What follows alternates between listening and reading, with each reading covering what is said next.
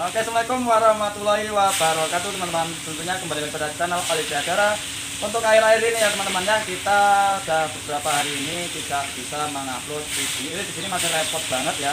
Uh, Intinya hidup bermasyarakat ya teman-teman ya. Banyak ini teman-teman apa? Banyak orang yang punya hajat jadi kita rewang dulu. Maka dari itu uh, saya sudah hampir satu minggu ini tidak mengupload video ya. Teman-teman. Nah ini ada komentar dari Mas Ketut ketut saling atau ketut samir ya? Ketut saling kali ya teman-teman ketut samir ketut ketut itu kata ini teman-teman nah, nama dari orang Bali ya teman-teman ya. Di sini ada mbak kita tuh. Itu orang Bali juga itu. Salam dari mana mbak? Nah, ini dari Lampung ya. Mbah. tapi orang Bali nih ini mbak mbak mbah Lueng yang sering pengambilan ampas tahu di sini dari dulu teman-teman pelanggan kita setia ya.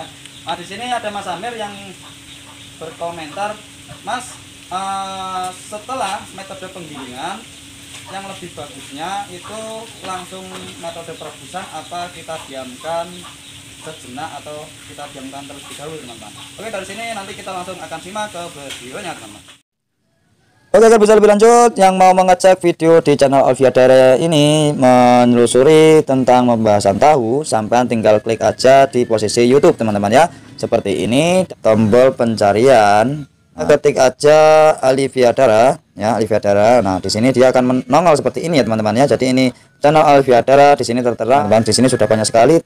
Untuk videonya 314 video ya teman-teman ya. Dan untuk yang lebih ingin lanjut untuk video Alivia Dara ini sampai tinggal ketik aja di profilnya.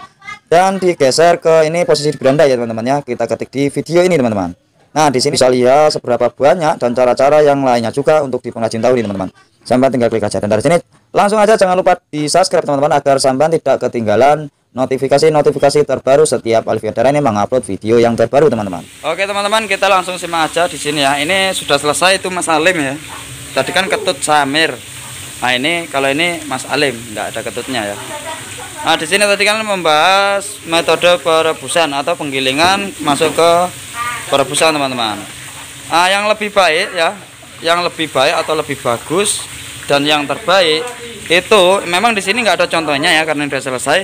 Di saat kita metode penggilingan nih, sesudah metode penggilingan ya, sesudah metode penggilingan yang lebih baik itu sebaiknya kita harus metode dalam perebusan teman-teman jangan terlalu lama untuk diinapkan di diinapkan setelah penggilingan teman-teman ya karena setelah penggilingan itu kedelai sehingga menjadi bubur ya sebelum memasuk memasuki metode perebusan. Itu lebih cenderung mengembang teman-teman. Di sini lebih cepat untuk mengembang uh, saripati kedelai itu ya teman-teman ya.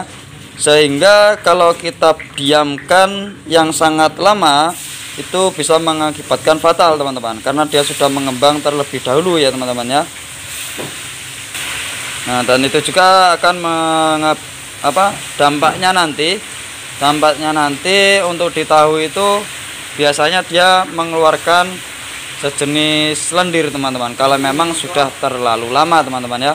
Uh, biasanya kan banyak tuh kalau buat tahu kopong itu sering terjadi di situ teman-teman. Kok tahu saya proses pembuatannya sama cara pencukaannya sama akan tetapi di waktu penggorengan tahu kopong itu susah kali untuk mengembang teman-teman.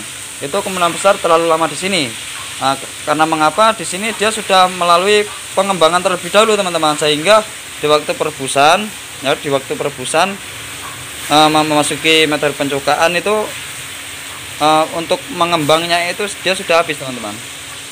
Ya intinya jangan terlalu lama di sini ya. Yang lebih bagus itu langsung ya. Tapi kalau untuk masih pertama itu kan biasanya pembuatannya kan agak lambat ya nah, misal takaran sampean itu 5 sampai 6 kilo yaitu uh, per masak 5 sampai 6 kilo itu sampean penggilingan memakailah. Kalau proses pertama itu kan biasanya kalau kita cuma menggiling satu atau dua itu kelihatannya masih sangat cepat ya.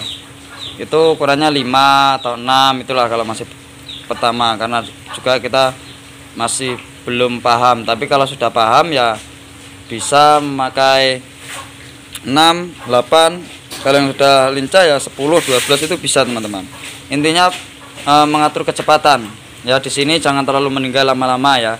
Misalnya penggilingan dalam sistem masak apa bermasak itu ya bisa satu atau dua tiga satu. Satu dua lah intinya sama yang direbus. Jadi metode penggilingan kita penggilingan pertama kita metode perebusan misal memakai satu ya ini kan memakai dua.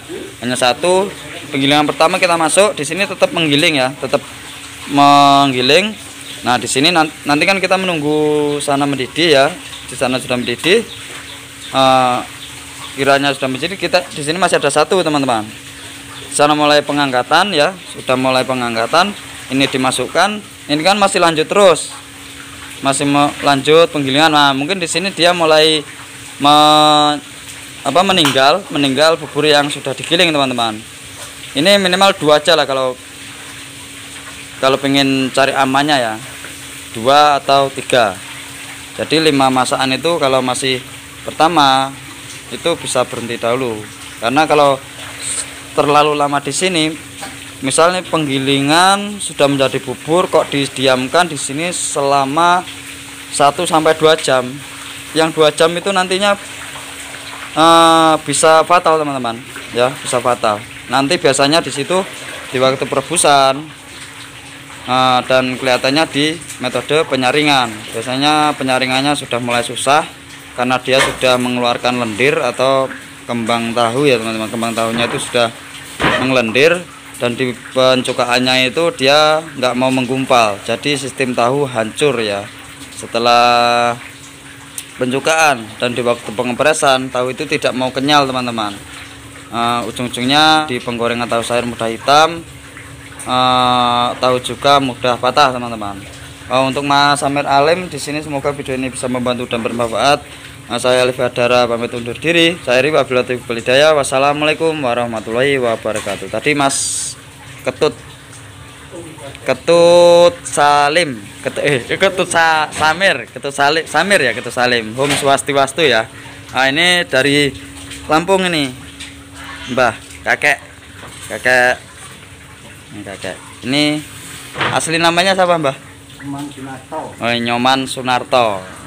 Salam dari Lampung katanya.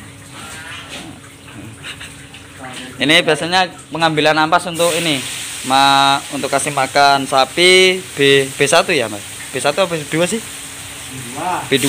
B2, itu. B2. Mungkin dari sini ya.